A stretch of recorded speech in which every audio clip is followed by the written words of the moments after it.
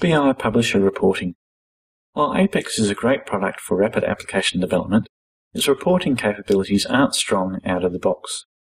Oracle recommends using BI Publisher as the accompanying reporting tool. To use BI Publisher in Apex, we need to head to Shared Components and create a new report query. We'll call our report query packed and leave the rest of those settings. We'll create our SQL query as something from My Products and move through the wizard. Now we get to the point where we can download the XML data of this query or the schema definition. And we can use those with our Microsoft Word. So I've downloaded the XSD schema definition.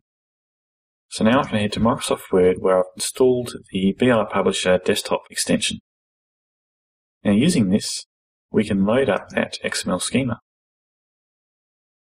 So I've loaded that schema into the Word environment, and now I can use an option such as the All Fields feature, which adds all those fields from the schema definition into the report, where we can then tailor the output to our, suit our needs. So we can add our images, headers, tidy up the table, do what we like to the report, and then that will be saved as a rich text format.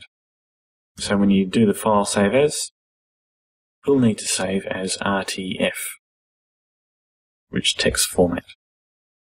And once that's been done, you can come back to the Apex wizard and move through to update the report layout. So here, create a file-based report layout, which we have done using that packed RTF. Make sure we have a unique, unique name. Now I need to load the file again.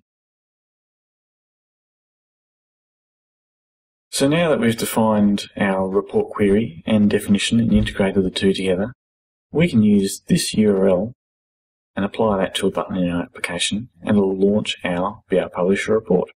It'll send through the XML data to the BI Publisher engine and the engine will integrate that with the report layout and generate a nice PDF document.